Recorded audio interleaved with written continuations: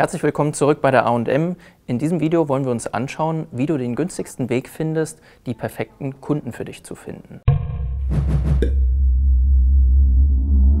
Mir ist aus Erfahrung einfach ähm, aufgefallen, dass vielen Betrieben tatsächlich gar nicht bewusst ist, wofür sie eigentlich ihr Geld immer sehr stark investieren, sondern es wird einfach immer querbeet so versucht, immer ja auf jedem Weg quasi irgendwie ein bisschen auch aktiv zu sein, was ja auch, sage ich mal, nicht verkehrt ist. Das Problem ist halt aber, nicht jeder Handwerksbetrieb kann es sich erlauben, auf jedem Weg, sage ich mal, viel Budget auszugeben. Das heißt, man sollte sich immer genau anschauen, okay, welche Maßnahmen bringen mir aktuell den größten Erfolg und auf welche sollte ich mich zum Beispiel aktuell dann stärker fokussieren und auf welche dann auch weniger. Ja? Und das wollen wir euch heute nochmal gezielt auch, auch aufzeigen. Und damit will wir einfach mal folgendes starten. Und zwar der erste typische Weg ist natürlich das Thema Empfehlung. Ist natürlich für jeden Handwerksbetrieb ja, ich sag mal, der bekannteste und natürlich auch der beste Weg ist auch ganz klar, weil, ähm, ja, brauche ich glaube ich nicht, nicht viel zu erwähnen. Die Empfehlungskunden sind definitiv die besten Kunden, weil die natürlich schon mal ja, von jemandem empfohlen wurde, dass ihr natürlich auch einen super Job macht. Klar, logisch dafür, die Kosten sind dann natürlich sehr, sehr gering, also liegen halt bei Null. Ne? Und man kann wahrscheinlich damit auch, abhängig natürlich auch von Branche, ist auch wieder klar, aber generiert ihr wahrscheinlich so die meisten Kunden mit. Vorteil natürlich bei der Maßnahme ist, wie gesagt, dass ihr natürlich sehr, sehr niedrige Kosten halt dabei habt, also eigentlich dafür sozusagen nicht zahlen muss für eine Empfehlung, ne, aber man sich natürlich auch erstmal diesen Ruf, sage ich mal, oder Empfehlung auch natürlich erstmal sehr stark auch aufbauen muss. Das heißt, es entsteht nicht von heute auf morgen, sondern man baut sich natürlich ähm, ja das über viele Jahre natürlich auch auf. Das heißt, es ist ein Investment sozusagen sehr stark in die Zukunft und ähm, was dann leider natürlich auch ein bisschen Nachteil hat dabei ist, dass man natürlich nicht leider jetzt messen kann, okay, kommen jetzt diesen Monat drei Empfehlungskunden rein, fünf oder sind es zehn oder ist es vielleicht auch gar keiner dann davon. Genau. Genau. Ist eben einfach nicht so planbar. Ja, wenn wir jetzt sagen, wir wollen eigentlich im nächsten Monat oder im nächsten Quartal oder wie auch immer, wir haben ein bestimmtes Wachstum geplant, dann kann man sich da ja nicht nur auf Empfehlung verlassen. Ja, das ist zwar der Kanal, womit viele, die jetzt auch am Start sind, ähm, erstmal loslegen, Freunde, Bekannte, man hat irgendwie Bestandskunden, die empfehlen einem weiter und so weiter. Nur jetzt wollen wir uns eben auch mal anschauen und dir eben aufzeigen, wenn du Marketingmaßnahmen hast, wie kannst du die genau messen, gegenüberstellen, jetzt auch im nächsten Monat, wenn du die äh, Messbarkeit derzeit noch nicht hast und vielleicht genauso auch, wenn du jetzt ein Betrieb bist, der gerade neu startet, mit welcher Maßnahme starte ich denn? Weil dann solltest du ja in dem Fall auch die Maßnahme nehmen, die dir dann am schnellsten die günstigsten Kunden bringt, anstatt eben den Kanal zu nehmen, wo es super teuer ist, eben Kunden zu gewinnen. Gut, wir haben jetzt einfach mal angenommen, wir nehmen einfach die drei Kanäle. Ja, du hast jetzt drei Kanäle, Offline-Marketing, Portale und Online. Ähm, wir können das ja jetzt noch mal ein bisschen ausweiten. Was zählt genau mit dazu? Genau, jetzt habe ich euch ja schon mal was zum Thema Empfehlungen erklärt. Jetzt komme ich mal zum nächsten Thema und zwar zum Thema Offline-Werbung. Beim Thema Offline-Werbung, was zählt da im Endeffekt alles dazu? Und zwar geht es um solche Themen wie zum Beispiel Zeitungsanzeigen, äh, Flyer, irgendwelche Broschüren, die man erstellt und alles weitere, was halt wie gesagt dazugehört, was im Endeffekt, ähm, ja ich sag mal, physisch oft natürlich halt äh, bedruckt wird oder halt erstellt wird und dann ähm, ja verteilt wird im Endeffekt. Das zählt sozusagen oft dazu. Der Klassiker ist ja auch noch Autos bedrucken, ja, oder beispielsweise an Baustellen irgendwelche Werbe ähm, Tafeln oder Plakate dran zu hängen, das ist natürlich auch etwas, wo viele auch ganz standardmäßig einfach drauf setzen. Vorteile äh, bei der Offline-Werbung sind dann dementsprechend, wenn man zum Beispiel ähm, ja das jetzt zum Beispiel das eigene Auto oder ähnliches bedruckt, dass es natürlich langwieriger dann dementsprechend auch halten kann. Ne? Klar, bei einer Zeitungsanzeige natürlich nicht, die, oder kann man sich natürlich auch als Kunde dementsprechend aufheben. Sicherlich hattet ihr das auch schon mal, dass ein Kunde mal vielleicht nicht, ich weiß nicht, die Zeitungsanzeige mal ähm, für einen längeren Zeitraum oder für ein paar Monate, sag ich mal, ähm, ausgeschnitten hat und dann mal vorbeigebracht hat. Passiert zum Beispiel mal auch gerne mal bei den älteren Menschen, sage ich mal, in der Gesellschaft, die das halt mal ganz gerne machen. Problem ist halt dabei, dass man natürlich halt nie weiß, äh, okay, wer hat sich überhaupt sozusagen die Werbung halt angeschaut? Wie viele Menschen waren das denn überhaupt? Und, und wurde sich halt im Endeffekt auch die Werbung, sage ich mal, angeschaut. Was kannst du ja leider alles nie messen, sondern man, ähm, ja, verfolgt halt im Endeffekt sozusagen Statistiken, die äh, man oft zum Beispiel von der Zeitungsgesellschaft oder von irgendeinem anderen Unternehmen sozusagen mitbe äh, mitbekommen hat, wo, man, wo dann aus Erfahrung sozusagen mitgeteilt wurde, okay, wie viele Leute schauen sich das an, aber was da halt wirklich an Zahlen halt, sage ich mal, rumkommt, kann man halt nie wissen. Und deswegen ist es auch, sage ich mal, sehr schwer messbar und auch sehr schwer planbar zu wissen, okay, wie viele Aufträge entstehen halt dadurch dann zum Beispiel dann auch im nächsten Monat dann auch für mich. Das ist der Vorteil bei anderen Maßnahmen. Also wenn wir uns jetzt mal Portale anschauen, ja, Portale ganz klar, da kann man einzelne Anfragen kaufen. Ja. Das heißt, man hat schon Leute, die haben Interesse an den Produkten, die ihr anbietet. Nachteil dabei ist auch, wie werden diese Interessenten denn auf euch aufmerksam? Meistens sind es ganz klassisch irgendwelche Vergleichsportale bei Google. Der Interessent sucht aktiv, das hatten wir auch schon mal in einem anderen Video erwähnt, kommt auf ein Vergleichsportal. Ja, hier ist jetzt irgendwie Küchenvergleich oder Photovoltaikvergleich, trägt sich dort ein und die Daten werden dann an drei oder fünf Anbieter in der Region weiterverkauft. Ja. Das heißt, man ist schon von vornherein in diesem Preisvergleich drinne, Angebotsvergleicher, das kennt ihr aktuell ähm, super viel am Markt. Ja? Und dann kann man da vielleicht, ich höre so im Schnitt ein von zehn oder wenn man sehr gut ist oder vielleicht auch manchmal sogar erst eins von 15 oder ein von 20 zum Auftrag führen. Ne? Diese Portalanfragen, es kommt natürlich immer auf die Branche drauf an, wie viel die kosten. Im PV-Bereich ganz klassisch irgendwo 50, 60 Euro. Ich habe aber auch schon in anderen Branchen gehört, dass die mal 90 oder dass die auch mal 170 Euro kosten und dass es da sogar auch gewisse Mindestabnahmemengen gibt, die dann der, der Partnerbetrieb, also ihr dann auch in der Woche abnehmen müsst. Ja? Und zusätzlich kommt es dann auch noch ähm, dazu, dass ihr mit dem eigenen Firmennamen gar nicht sichtbar werdet. Ja? Das heißt, die Anfragen tragen sich da ein, werden drei oder fünfmal angerufen, ja, sind in der Vergleichbarkeit, wollen sich nur ein Angebot einholen und dann habt ihr da den ewigen Zeitaufwand mit dahinter und müsst schauen, ob ihr da die Leute in einen Auftrag verwandeln könnt. Genau, sehr wichtig auch dabei ist, wie gesagt, auch zu, äh, zu bedenken ist, dass ihr gebt da jetzt beispielsweise jetzt eure 1000 Euro im Monat aus für die Portale und ähm, dabei wird auch eure eigene Markenbekanntheit, auch wie auch schon Tim sagte, halt gar nicht gefördert. Das heißt, es wird im Endeffekt nur der Name des Portals halt dabei sehr stark gefördert, wobei man das natürlich auch für seine eigenen Zwecke halt auch mal nutzen könnte, speziell. Hm. Genau. Aktuell ist es auch so, dass viele Portale gar nicht, auch selbst wenn die Mindestabnahmemengen haben, die können das gar nicht liefern. Also selbst wenn ihr jetzt sagt, okay, ihr wollt 20 Anfragen die Woche haben, dann können die gar keine 20 Anfragen in der Woche liefern. Warum? Aktuell, die Leute sind etwas zurückhaltender, ja, die suchen weniger auf Google, dann kommen die nicht auf diese Vergleichsportale und tragen sich da auch nicht ein. Und somit kann man da auch gar nicht so planbar jetzt die Firma, auch in vielleicht Zeiten, wo die Leute etwas zurückhaltender sind, kann man gar nicht planbar seine Firma zum Wachstum bringen jetzt im nächsten Monat. Genau, und das ist zum Beispiel auch der Unterschied auch wiederum bei Offline-Werbung. Offline-Werbung führt zum Beispiel nochmal unter anderem dazu, dass sich natürlich auch nochmal Leute halt, also wie gesagt, euer Unternehmensname natürlich auch nochmal bekannter wird, ne, wie gesagt, noch, natürlich nochmal eine Markenbekanntheit schafft und ähm, ja, diese Person zum Beispiel jetzt sich nicht jetzt direkt anmeldet, aber vielleicht in einem halben Jahr, einem Jahr oder irgendwann später, weil sie halt, wie gesagt, schon mal zuvor eure Werbung gesehen hat. Genau.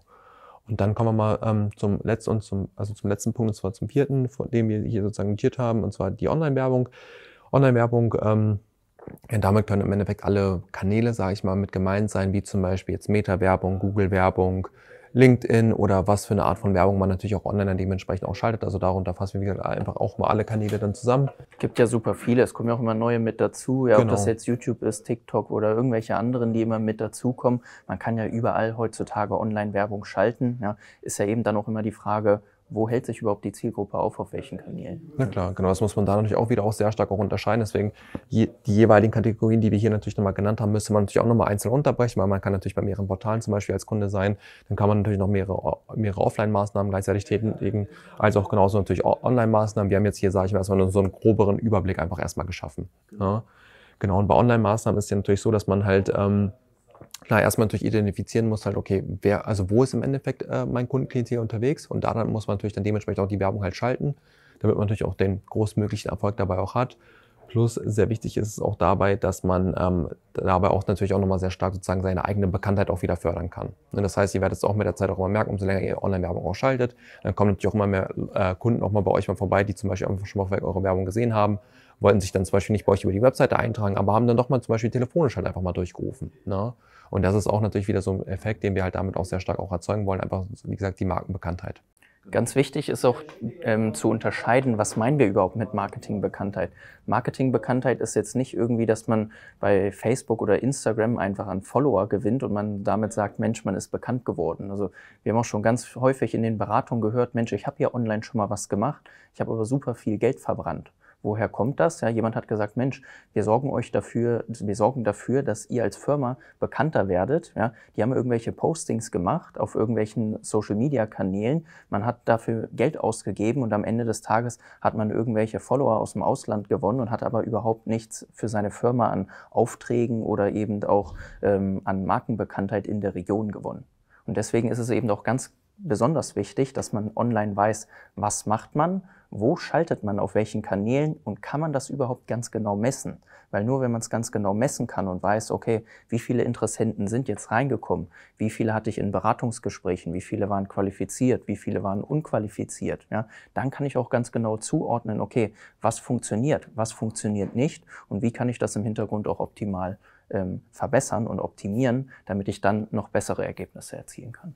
Genau, plus was man natürlich auch nochmal bei den Maßnahmen bedenken sollte, ist, dass natürlich den Skalierungseffekt, das, der ist zum Beispiel bei den Empfehlungen natürlich sag ich mal, schwer machbar dann dementsprechend umzusetzen. Bei Offline-Werbung größtenteils auch, weil es oft nicht dazu führt, dass wenn man zum Beispiel jetzt vorher in dem Monat 1000 Euro Werbung ähm, sozusagen für die Werbemaßnahme ausgegeben hat und man zum Beispiel darüber zwei Kunden gewonnen hat, dass wenn man im nächsten Monat dann im Endeffekt zum Beispiel 5000 Euro ausgibt, man dann dementsprechend 10 Kunden gewinnt. Das ist halt oft natürlich dann dementsprechend nicht der Fall.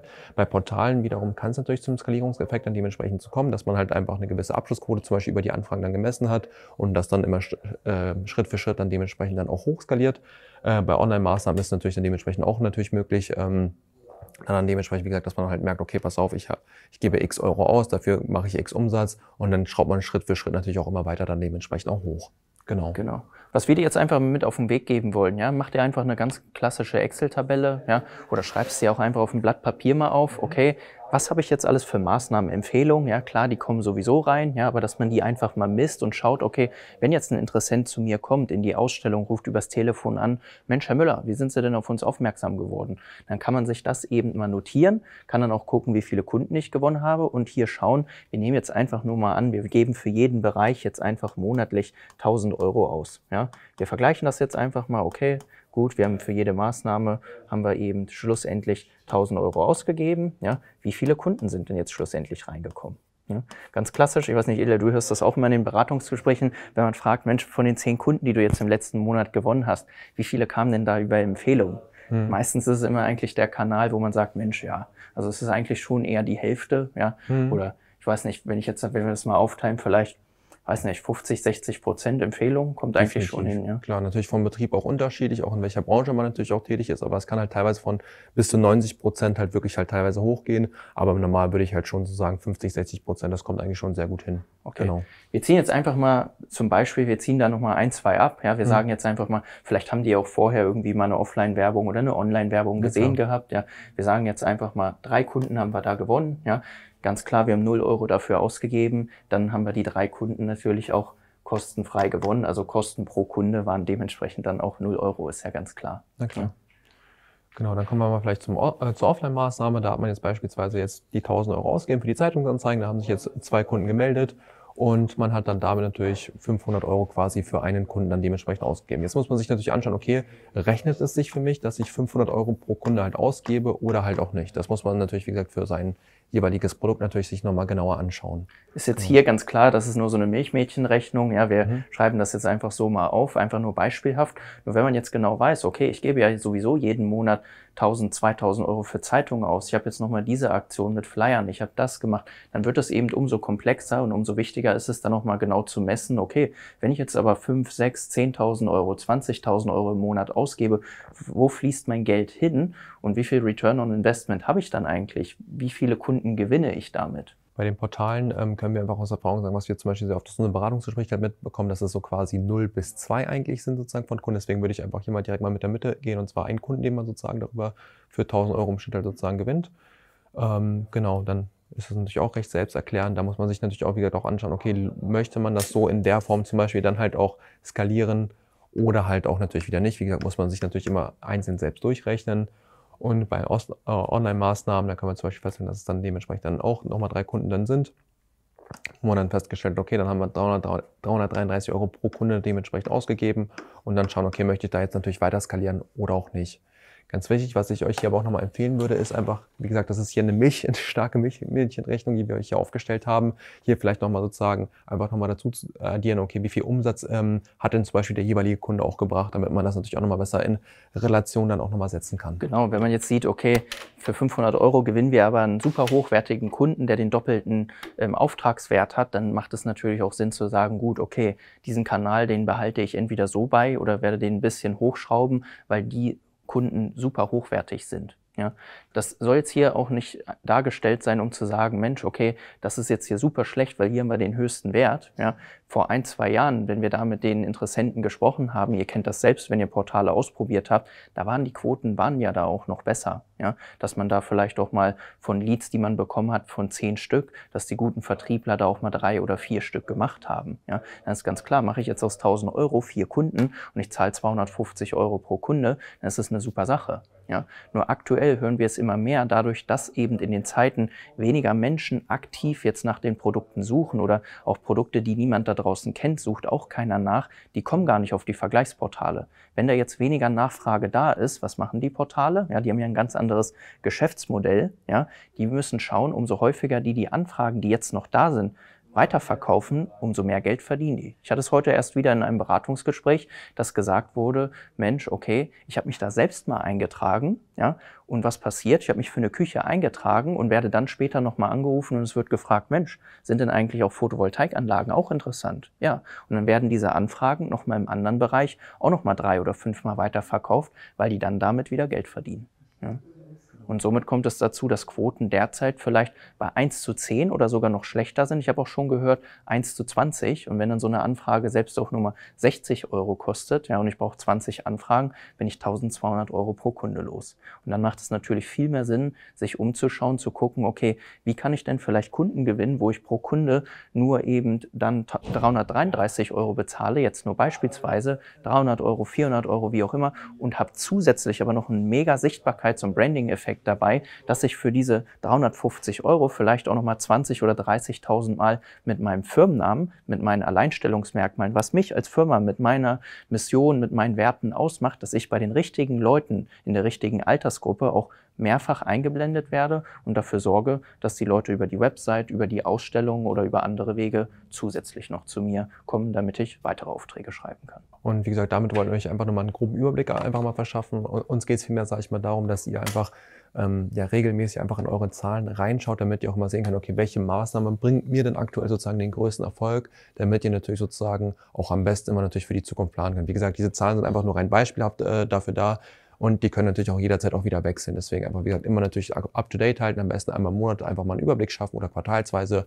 Natürlich sage ich mal unterschiedlich von Betrieb zu Betrieb, wie ihr es halt machen möchtet, aber damit ihr immer sozusagen guten Überblick auch einfach habt, okay, was gibt ihr an Maßnahmen, also was für in welche Maßnahmen investiert ihr, wie viel Budget ist es und was habe ich für einen Erfolg dann dementsprechend auch damit. Ne? Und was habe ich auch natürlich auch als Ziel, was möchte ich auch dann dementsprechend auch mit der jeweiligen Maßnahme auch vielleicht auch erreichen. Nimm es einfach mal mit, schaust dir bei dir an mit deinen Zahlen und wenn du eben noch Unterstützung brauchst, dass du das Ganze eben noch weiter ausbauen möchtest, gerade auch im Online-Bereich noch weitere Kanäle suchst, wie du dir eben deine Zielgruppe oder eben auch neue Leute erreichen kannst, die dich noch nicht kennen, ja, dann kannst du dich gerne bei uns melden und dann können wir schauen, ob wir dir da weiterhelfen können. Genau, wir freuen uns auf dich und dann bis dahin erstmal. Ciao. Ciao.